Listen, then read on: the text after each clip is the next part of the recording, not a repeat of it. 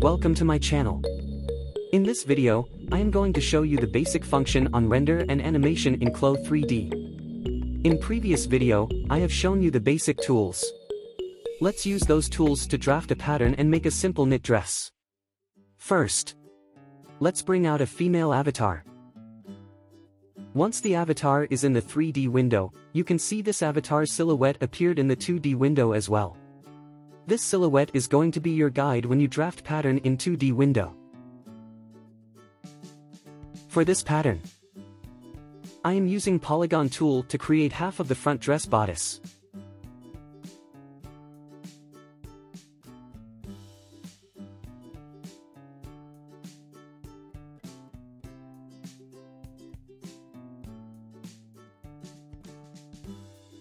Fix all the curve and remove extra points on the pattern.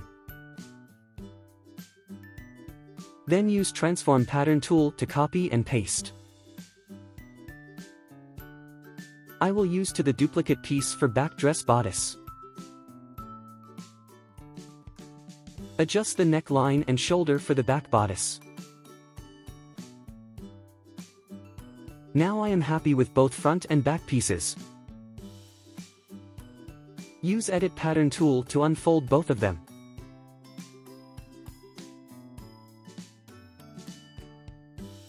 Bring out arrangement points in 3D window and start to arrange the pattern pieces on the avatar.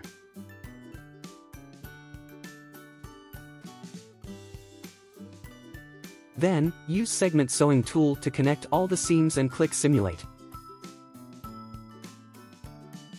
Adjust the dress during simulate to make sure it fits right on the avatar. By the way, since the dress is using knit fabric, you can see the neckline on the avatar got stretched out a bit after simulation. To avoid this problem, you can use Edit Pattern tool to select front and back necklines, also include both armholes. Then, go to Property Editor and activate Elastic. Change ratio to 100% and this will bring the neckline to the same length as the patterns you created in 2D window. Click on Simulation to update the changes.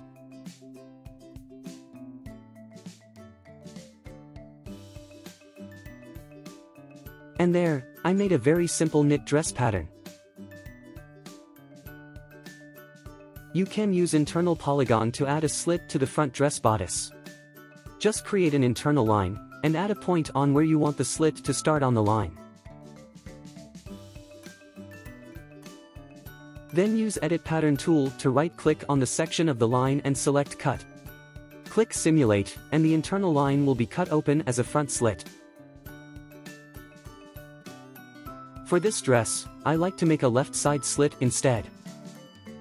Use undo to the previous step, and select edit sewing tool to delete the left side seam sewing line. And this will open up the left side seam after you simulate it. Also, you can use smooth curve tool to round the corner. Select the left bottom point on the dress hem. Hold left mouse key and drag. You will be able to curve the corner. Let me do it on the back bodice as well.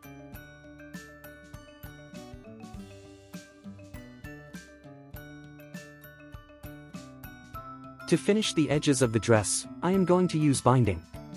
Just click on binding tool from 3D window toolbar, and click one point to start the line and double click to end it. And simulate.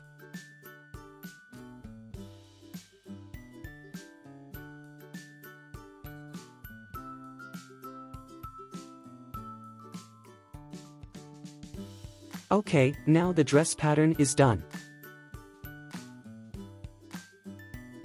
To add a graphic to the dress.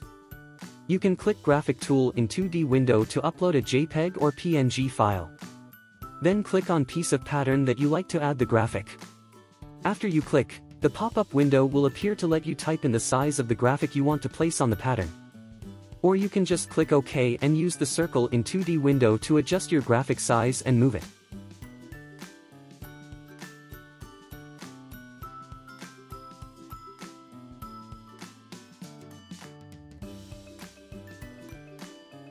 I would also add a color to the dress by going to Object Browser to select the fabric and go down to Property Editor and click on Color.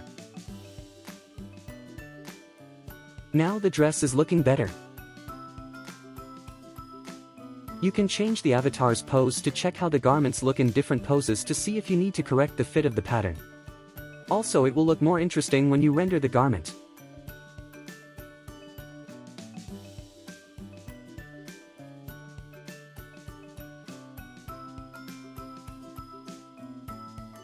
One last thing you need to do before render or creating animation is to lower the particle distance.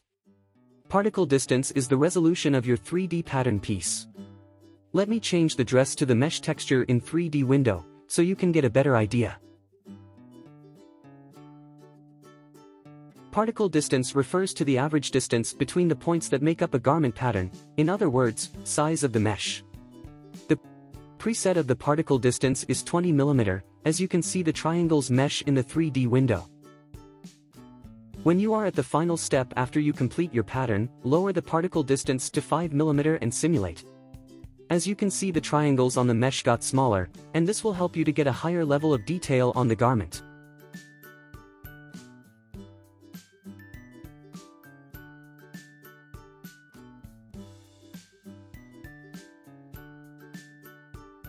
Lowering the particle distance will slow down your computer when you simulate the garment, so don't change it during the process of drafting a pattern.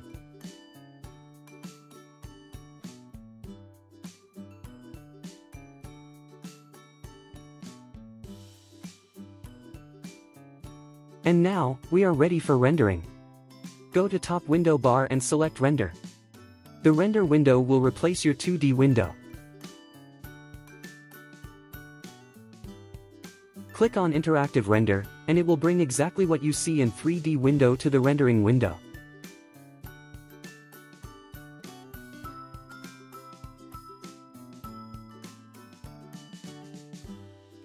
Make sure to turn on the quality render in 3D window to get a better result for your rendering.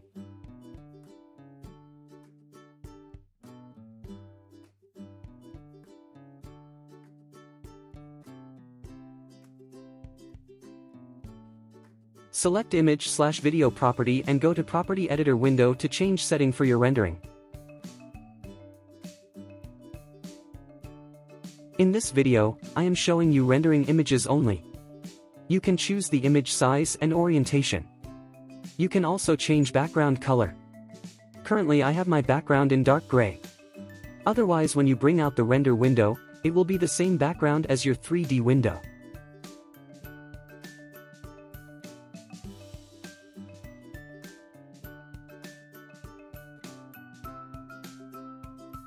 Next, go to Light Properties, and you can select the preset lighting options from Clo.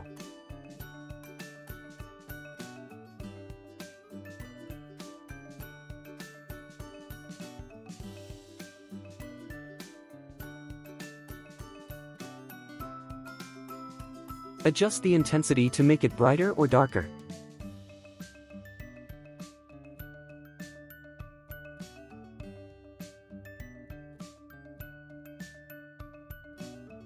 If need more lighting, you can go to Render Window toolbar and select different lights such as rectangle, spotlight and change the intensity and color in the property editor.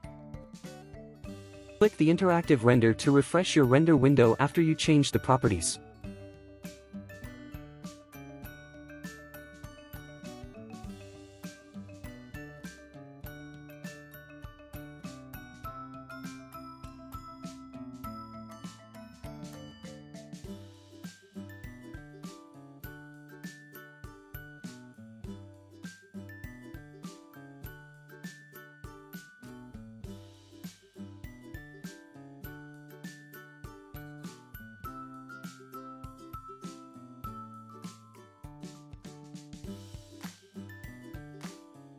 When you are done with all the setting, stop render.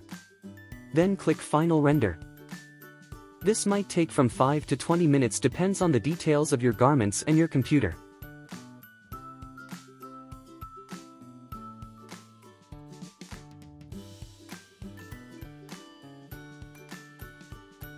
Once the rendering process is over, you will get the final image of your garment. This is how you will use render in Clo 3D. The next great feature in Clo 3D is to create animation clips. First you need to bring your avatar to attention pose. all the motions will start transitioning from the attention pose. By doing this, it will reduce the process time. Just like rendering, before creating animation, you want to make sure all your pattern is sewing correctly and there's no issue after simulation.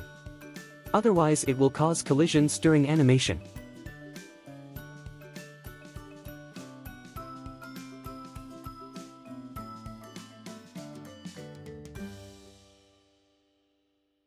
Once you are ready, go to Library, under Avatar folder, select Motion. Clo 3D comes with 5 options for the animation. Double-click to select one motion, and click OK on the pop-up window.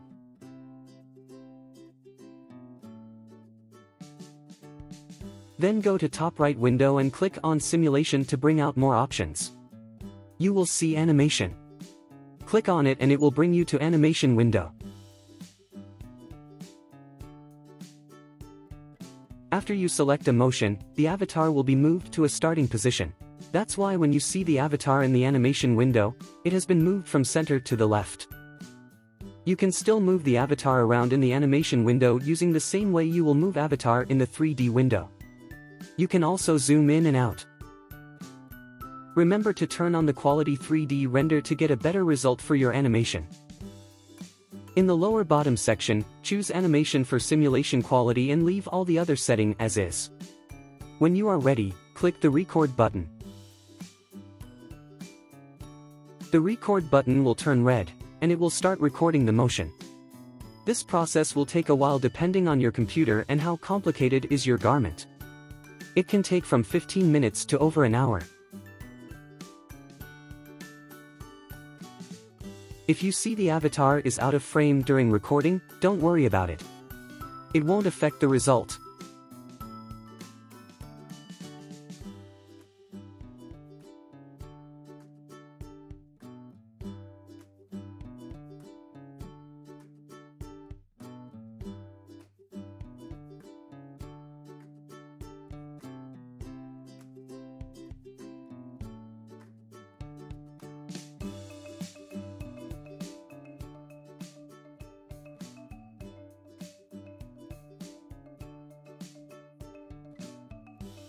After recording is done. To save your animation clip, go to top window bar, under File, click on Video Capture, and select Animation. A new window will appear to let you adjust the video size and orientation here. If I select vertical view, the starting point will be out of the frame. You want to make sure when you record the motion, the avatar will be in the center of the frame. To do so, Change the current number until you see the avatar. Adjust avatar size and move to your ideal position.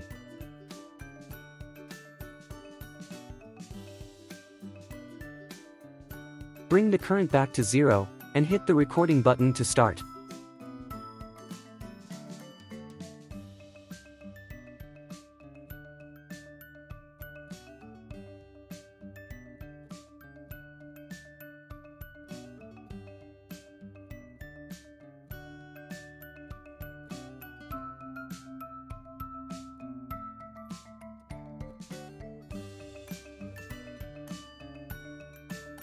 When recording is done, click on recording button again and the video capture window will show up. You can use play to review the recording. If everything looks good, just click save.